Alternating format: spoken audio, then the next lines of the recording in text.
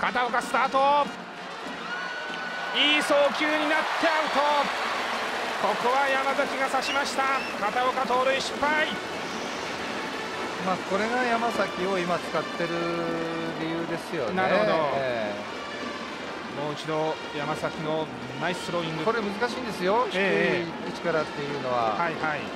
一つ、ええもう一つ間違いないセーフですようん。ねスタートは普通ですからね、えーいいボールが来ました、はい、どちらに上にも横にも行っても、ええまあセーフでしょうね。